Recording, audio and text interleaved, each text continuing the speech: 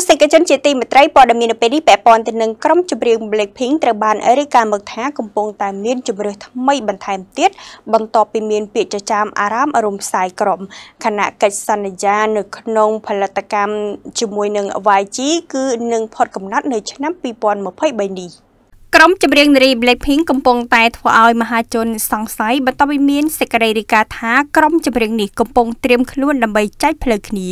ជាមួយនឹងរបាយការណ៍ថាសមាជិកមួយចំនួននៅក្នុងក្រុម Blackpink មិនមានឆន្ទៈបន្ត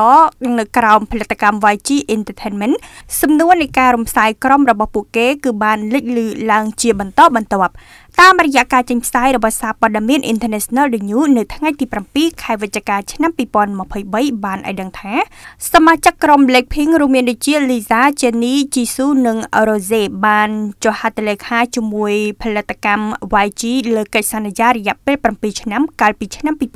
2016យោងតាមកិច្ចព្រមព្រៀងរបស់ពួកគេកិច្ចសន្យាគឺនឹងផុតកំណត់នៅចុងឆ្នាំ2023នេះទោះបីជាយ៉ាងណាក៏ដោយក្រុមអ្នកគ្រប់គ្រងនៅតែមានសង្ឃឹមខណៈដែល Sport អ៊ូលបានរាយការណ៍ថាក្រុមនេះប្រហែលជាកំពុងសម្លឹងមើលទៅលើកិច្ចសន្យា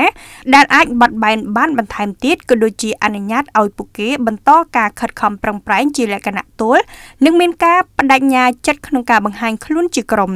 ការចេញផ្សាយបានរាយការណ៍ថារហូតមកទល់នឹងពេលនេះក្រុមទាំងមូលកំពុងតែមានការពិភាក្សាគ្នាជាលើកចុងក្រោយ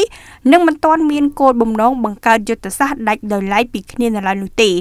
ឬក៏ពួកគេអាចមានជំរឿសក្នុងការចុះហត្ថលេខាជាមួយផលិតកម្មថ្មីក៏ថាបាន